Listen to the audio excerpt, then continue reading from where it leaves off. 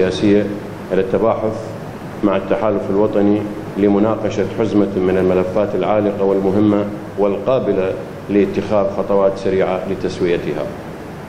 والبدء بدراستها وإيجاد الحلول الناجعة لها وفق سقوف زمنية. الدعوة إلى الحوار لحل المشاكل العالقة بين الفرقاء السياسيين هي الخطوة التالية للتحالف الوطني بعد إكماله لورقة الإصلاح التي عكف على تقديمها كحل للأزمة السياسية القائمة.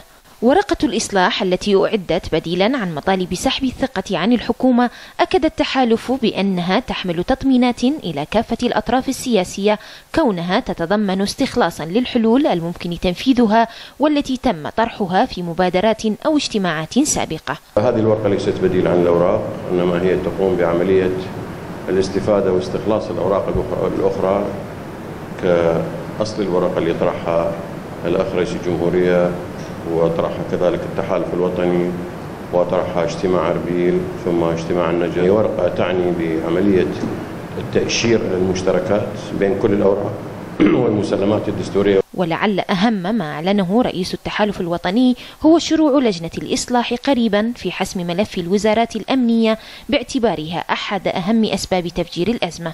مع التجديد على وضع توقيتات لحل القضايا الأخرى حسب أهميتها مثل المجلس الاتحادي والنظام الداخلي لمجلس النواب والحكومة بالإضافة إلى التعديلات الدستورية.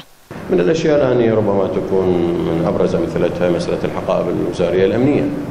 لا تحتاج إلى مزيد من الوقت عندما يتفق الفرقاء فيما بينهم من خلال الحوارات على الاهتداء لصيغة لحسم ملف وزارة الدفاع ووزارة الداخلية. ورقة الإصلاح وبحسب التحالف لن تكون بمعزل عن بقية الكتل والتحالفات الأخرى عند الشروع بتنفيذ الإصلاحات المطلوبة وهي بذلك تجيب على مخاوف الكتل الأخرى التي أخذت على اللجنة اقتصارها فقط على أعضاء من التحالف الوطني. كما شدد البيان المعلن على ضرورة الالتزام بالتهدئة الإعلامية بهدف تهيئة الأجواء الملائمة للحوار. بشرى المظفر السومرية.